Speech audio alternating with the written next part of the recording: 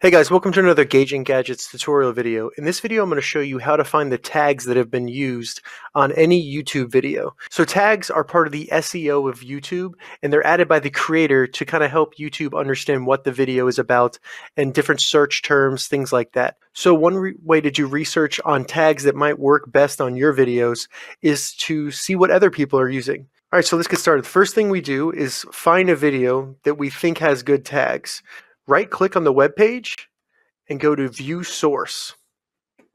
This is going to bring up the code, the HTML, CSS, the different code making up that website.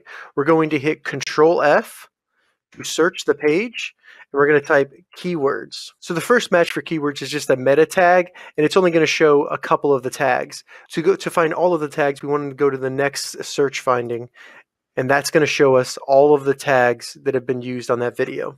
So as you can see, the tags are all here and they're separated by commas. So all you need to do is just look between the commas and those will be the tags or phrases that were used by the creator of that YouTube video. So that's how you find tags on any YouTube video.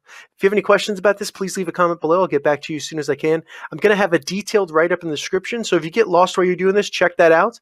If this video helped you, give it a thumbs up, and please consider subscribing to my channel, Gauging Gadgets, for more gadget reviews and tech tutorials. Thank you so much for watching.